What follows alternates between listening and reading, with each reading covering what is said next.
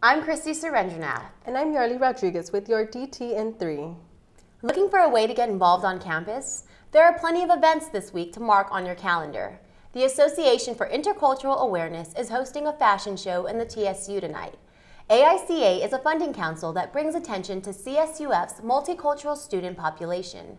Traditional cultural performances, an art showcase, and a fashion show called Culture Couture are all part of this event. It'll take place in the Pavilion C from 6 p.m. to 8 p.m.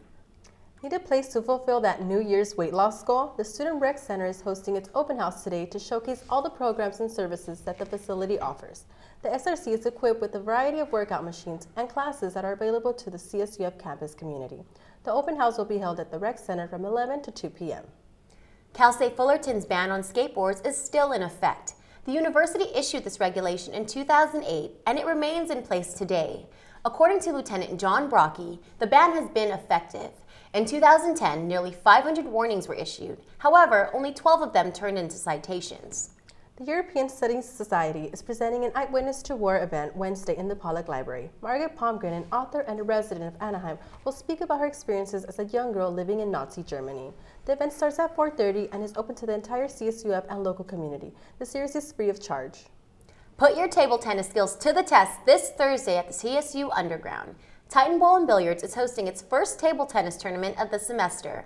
The tournament starts at 4 p.m., but you can sign up ahead of time by making a phone reservation or visit titanbowl.fullerton.edu for more information.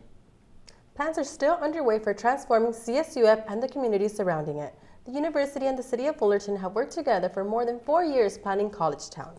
This construction project would include a local trolley system connecting key Fullerton destinations and a redesign of Commonwealth to be pedestrian and bicycle friendly. These plans are also include a pedestrian mall that connects Nutwood Avenue to the campus. College Town designs are still being discussed and are years away from being completed.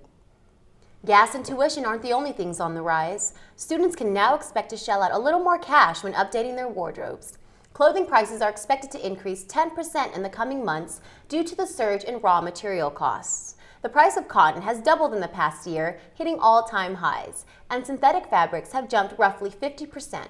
You can expect to see the biggest price increases in the later half of this year.